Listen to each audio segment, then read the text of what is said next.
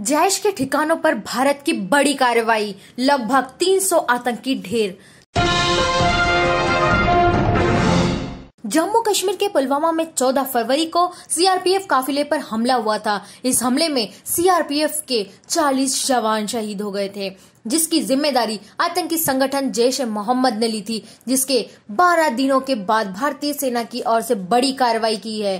भारतीय सेना ने पाकिस्तान में स्थित जैश के मुख्यालय पर मंगलवार को बड़ा हमला किया है। रिपोर्ट्स के मुताबिक 200 से 300 आतंकियों के मारे जाने की खबर इसमें आ रही है। जैश के ठिकानों को भी तबाह कर दिया गया है। बताया जा रहा है कि आतंकी ठिकानों पर बम गिराए गए हैं। Subscribe our channel and press the bell icon for more updates.